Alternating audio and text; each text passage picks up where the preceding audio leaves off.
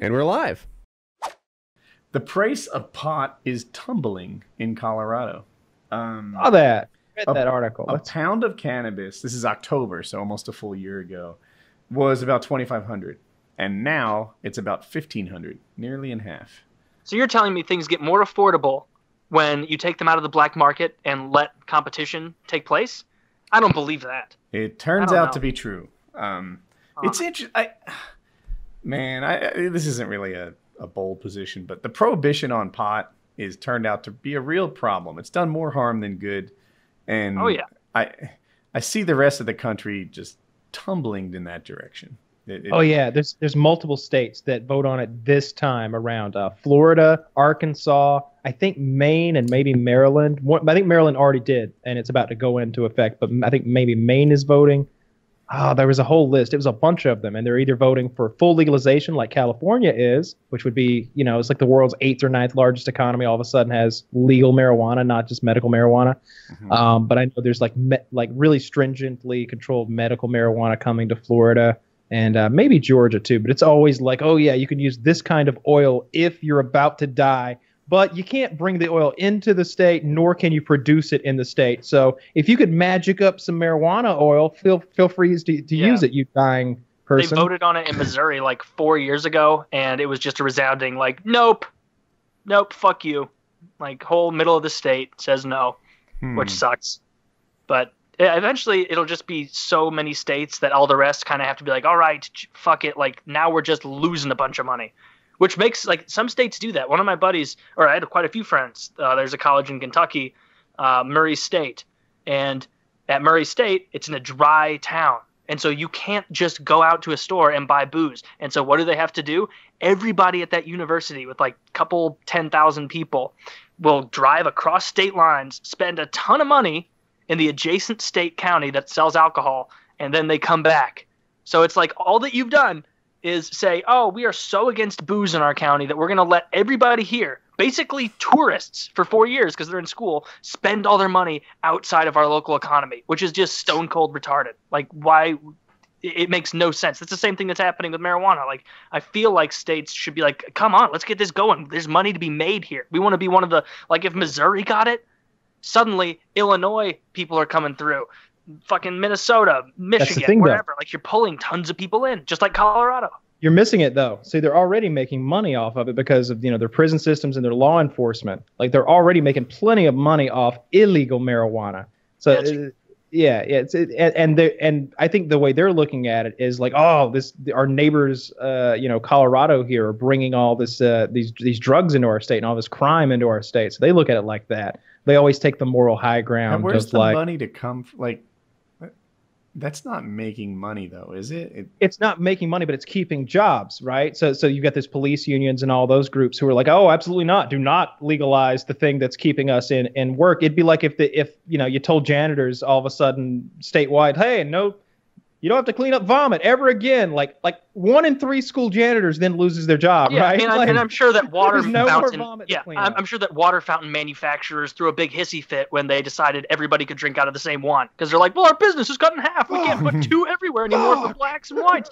Like, you just have to get over that. I think. Like, one of them is like if you have pot there, people are gonna start Plan spending money. invested in the water Like, they're gonna start like having prisoners like getting incarcerated it makes sense because they're quote making money from it but it's also not stimulating the economy the same way that if people were buying a consumer good in those states. Like it's Colorado's one of them nuts. is to keep jobs in a in a neat system that they like that they have. The other one is opening up a whole new world of commerce and different types of businesses and competition i don't know it's it's, it's interesting to just see the capitalism around it too, right? Because uh, I'm not an expert in pot, but apparently the raw bud is just not where the money's made anymore. It's in all the enhanced stuff, the cookies, the lollipops, the the, the I don't know. the- the- Maybe the accessories like the bongs and the glassware and things like that, but the the bud There's tons itself. of stuff for sure. But then there's concentrates and edibles, is what you're getting at, right?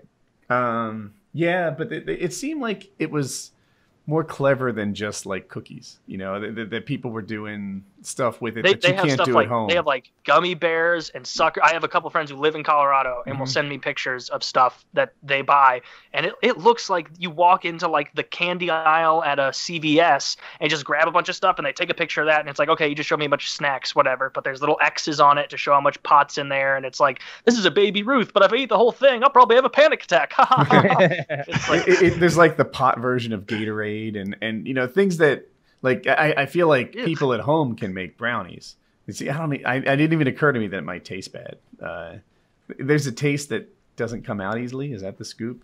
I think, I've never had a pot Gatorade, so I have no idea. But that doesn't sound like if you told me that I, I don't know. That just sounds gross. Yeah, I believe that most edibles, whether you're buying them from a store or you're making them yourself, are going to have a rancid. They, they taste like they smell. I would say. I Yeah, and know. pot doesn't have the best smell. But if I- you've ever smelled pot, you're usually just like, oh, well, that's very pungent. Yeah, know- skunky. I know a little bit about two things, right? Like with alcohol, only certain things are able to like mask that alcohol taste, and uh, another one is creatine. Like, um, so I work with Gamma Labs, right? I like them a lot, G Fuel, etc. Well, they have another line that's for people who are exercising, like a pre-workout formula, and in that they have fewer flavors because only some flavors are able to mask the creatine flavor, whereas like you know if you take that out all of a sudden there's every kind of like green, purple, orange drink. Creatine tastes like shit. Yeah. Yeah. Yes, it does. And it I've got makes some you lemon uh, lime so dehydrated. Yeah, you got to drink a ton of water. That's uh, there were kids that died from that. Their coaches they would be on creatine, and their coaches would have them out there like, you know, doing two a day football practice and not giving them water. You dehydrate and fucking die. Yeah. Or you are a college kid taking a bunch of creatine, but you're also not drinking enough water and getting hammered every night, and so your body's just like withering into a crispy husk of dehydration. I think one of the things you, you were maybe like referring to, Woody, is like some of the processes that they now use to obtain the uh, the concentrates. Um, there's there's CO2 processes, and then there's um, butane processes, and then there's some other ones. And there's there's a big contraption that's going into creating those concentrates. We were watching a YouTube video the other day, and they, they had created this. Uh, it was it was 99.999% THC, and they were clear crystals that looked like meth it was a clear crystal that looked like meth and there were little granules and he would take this little spoon and he spooned up some of these these this crystallized THC and and he poured it into his thing and smoked it and oh, he get was out dripping of town. but first he he dripped some terpenes on it for the flavor It- so it was pretty ridiculous What's a yeah That's what's like. Not, no, that's what I like about the those idea are like of the flavor weed notes being- of marijuana I like the idea of weed being legalized as like that legal drug because it's like it's the not scary drug. You know, it's the one that like if you're walking around at a concert and you see people with like a scary looking like crack pipe, you're like, all right, we're standing not fucking here. We're gonna go stand somewhere else. If you see somebody with a joint, you're like, okay. More likely than not, they're gonna smoke that and then kind of sway back and forth and just be in a good mood. I'm not afraid. But I I don't know. I just don't like making it seem scary. You Right? know, like I f- like like white crystals and powder. When Like when I see white crystals and powder, I think scary drugs, which is Kyle- probably just a stupid dare campaign that seeped in. But when that's what I Kyle think. said that, I, I was like, someone's gonna OD on THC. I know no one's ever No, OD'd you- on THC. it's impossible You can't. it's not what a thing I, I, I don't It's know. I, I just feel like if I it's just not a thing if I drank a coffee cup full of THC crystals, would I not die? Like, no, I, I I don't think you would. I just don't think you would. Um, I, I think you could. I think if you ate a coffee cup full, I think a, a caffeine overdose. uh, I think you could definitely overdose on caffeine and die If long someone- before you would overdose No, on. I If someone makes about me a that. peanut butter and jelly sandwich and replaces the jelly with that fucking wax that people smoke, is that not gonna kill you'd be me? fine. you'd be would, be- fine. Really? You, you could OD Yeah. on you could OD on salt water so easily. You could go buy a bottle of uh, like a handle of Everclear, which is just I don't know if you guys have that in your state. A lot of Mhm. states don't have it, but it's Jersey just super it. super concentrated grain alcohol, like ninety nine uh, Mhm. percent. Blasted on grain alcohol. Like you can kill yourself on that way Yes. easier than marijuana. Like people I- accidentally I don't think from alcohol. you alcohol. can kill yourself on marijuana, or you or someone would have done it by now. Like, like, like, look at the society we live in with warning labels on shampoo and fingernail clippers, and people having their cars burnt down, burn up by their iPhones, right? Q-tips Like, like, have to pretend they're not for your ears. thank you. Yeah, because it because of the legal ramifications of suggesting that someone sticks something inside of their head. You just can't do it because people are so dumb and irresponsible. So, if you could kill yourself with weed, someone would have killed themselves with weed by now. They just would have. Yeah, I, I'm thinking Like so. a dozen people die every year from vending machine accidents, right? Like, don't forget that. And then Those transfer could be that to related. marijuana. Those could be Those- related. Yeah, that- that's an indirect weed accident. All of them. Pepper! it's definitely happened where like someone's probably gotten really really high and then done something stupid like oh, like of course. Now, and then that's and then killed themselves. That's on marijuana, marijuana related. How many people were trying to score some weed, and the the system pushed them into a scary neighborhood where they were then stabbed to death? You know, Yeah. like you could call that a marijuana related death, but nobody has ever eaten. You, I bet you could eat, you could eat more marijuana than your than your stomach could hold, and it still wouldn't matter. And it's got to be heated up to become psychotropic anyway. So like just eating that wax. While it would taste bad, I think, and maybe constipate you because you're like eating some sort of You're eating wax. Yeah. see gunk, it wouldn't get you high at all. You know, you'd I have didn't to. know that. Yeah. Oh. I didn't know that about wax either. I figured Well, you anyway. could just I, I think know. that what's happening in Colorado is super interesting. Like, you know, regardless of where you stand on pot, if you're at all interested in economics, like adding capitalism to this thing and legalization and, and watching what's happened and, and they've taken it from these like I don't know, crazy Mexicans growing it in the middle of a forest in like a tiny little plot and growing garbage to like scientists with grow lamps and indoor like, you know, perfect cultivation, you know, the, the, and guys who are just like really passionate about their flowers and they don't look like flowers to me, but you know, whatever, we'll go with it.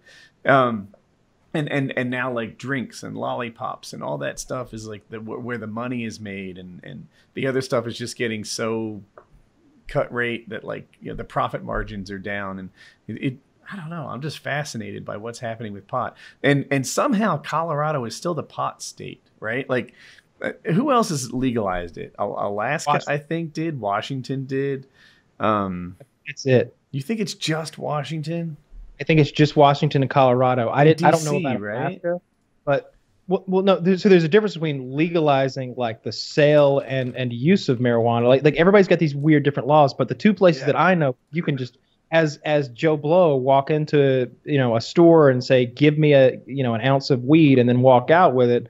I don't know if Colorado will give you an ounce, but you know what I'm saying. Colorado and, and Washington are the only ones that I know of. I'm pretty sure I I could be wrong but I'm looking at it right here that it's Colorado Washington Alaska and Oregon Okay. Oregon? Okay. Is that yeah. right? What are the two top left states in the? That's Oregon and Washington. Yeah, yeah. Washington's on top. So We're gonna get in this like weird time in the nation where like half of the it's legal in half the states and the other states is not, and then like you have to like you it's like kind of like buying fireworks. Like you're just gonna drive the nearest thirty miles. Yeah. I don't know. It's it's gonna get weird. Yeah, fireworks are illegal in my state. mine Are they? too. Yeah, but um, South Carolina.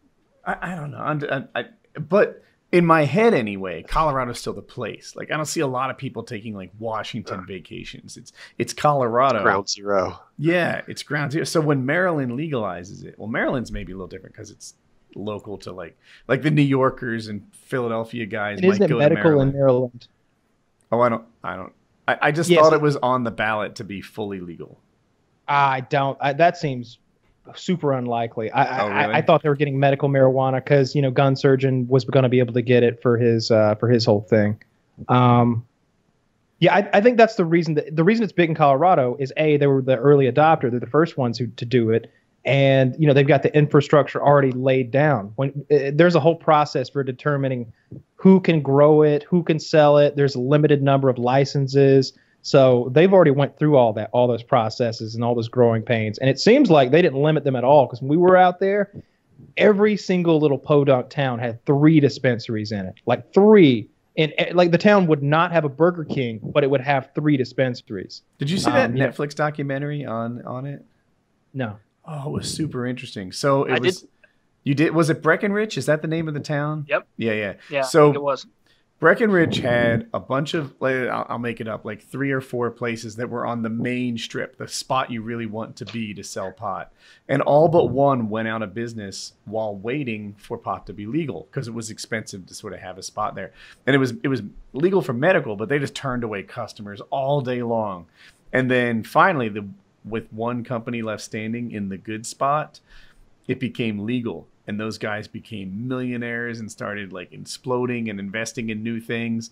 But the town was just pressuring them all the time because they felt like it was a bad look that they didn't want on their like prestigious. I think what they were telling him was like, uh, "We want you to have to move your shop over to this like other corner of town." Mhm. And their big thing was like, "Okay, if we move to that part of the town, like this is Breckenridge. People come here on vacation, they walk around the strip, and they go eat, then they'll walk back to their hotel or walk back to their condo, whatever. Like if you put us over here, even though it's like only a couple miles away, nobody's going to go like."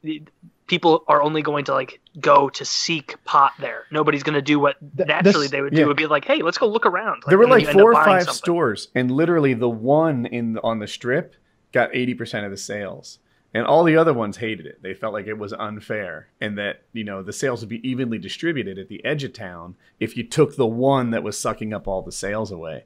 And eventually, that's what happened. They kicked them out of that area, and uh, and they had to go set up shop with the peons on the edge of town.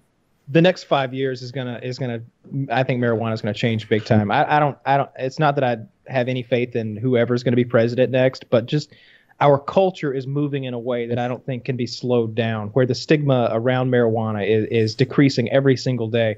And more and more people like like middle aged common sense kind of people are seeing the benefits and realizing that there just really aren't any drawbacks uh, when you when you when you look at this thing when it's practically put forward to you. You know, you look at the situation in Colorado with fewer uh, uh, underage drinking deaths and and few and less marijuana use for like that lowest a- of age groups.